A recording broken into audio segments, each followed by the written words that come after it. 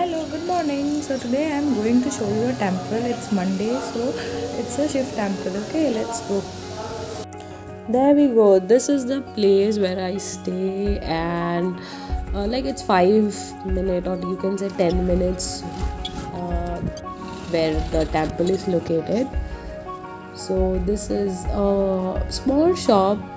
Uh, very old lady owns this uh, shop who sell you know all the product which we offer to god. I was just asking her what she was doing. She said i came here very early in the morning so i was just feeling cold. That's why you know uh, i just burned some fire over here. She is very very sweet and uh, very good. I took some flowers only because i'll tell you why. Because lord shiv is the only uh, god who is very innocent and you don't need much thing to offer him. Only uh, you know uh, some water is you know enough and flower for him. So from childhood only i believe in lord shiv. So that's why. So this is a shivling. Uh, i'm not able to show you very properly but there are three four uh, you know murti of lord ganesh and many other things. So that what I was doing. I was putting uh, all the flowers and water to all other gods over there. It is believed that if you, you know, pray every day and water shivling, then your wishes can come true.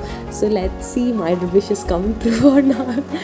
but yes, Lord, this is not, you know, something like dreams will come true or not. But yeah, sometimes, you know, it makes you feel good, you know, when every morning you wake up not every morning at least once in a week you go to a temple and it's give a positive vibe. That's what we all want in our life.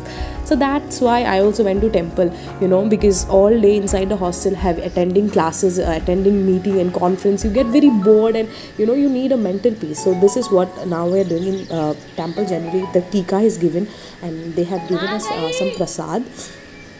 So yeah. That what the real Pandit was not there. So there was a young boy, very small boy, show that little boy was there that day. And actually, it's a Hanuman temple, but nearby it's a Shivling. So it is said like Lord Hanuman is also an avatar of uh, Lord Shiva. So this is uh, the temple, very beautiful and very peaceful. You know, when you visit temple, mosque, gurudwara, whatever, you feel very calm. You know, mental peace. That's and this is the place where uh, the Pandit stay, the priest we say Pandit and that was the temple. And uh, now let's explore the local uh, market over here.